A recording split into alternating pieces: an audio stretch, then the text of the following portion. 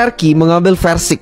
Mungkin ya mungkin kalau gue sebagai kacamata publik ngelihatnya tuh kayak uh, itu sering terjadi lah. Kayak contoh kita bola ya City. Ada Halan ada Alvarez. Dua striker guys.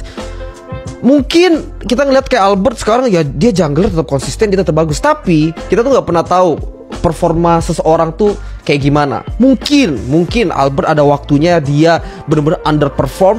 Apa pun yang udah dilakukan dia gak bisa balik ke perform uh, tertingginya ya dan ada backupnya gitu loh. Emang penting sih ya itulah fungsinya tuh lu double layer. Pertama lu punya backup ketika emang uh, posisi itu contoh Albert sakit lah mungkin Albert nggak perform lah lu punya versi yang emang dari segi kualitas pun dia juga bagus kan jungler kan.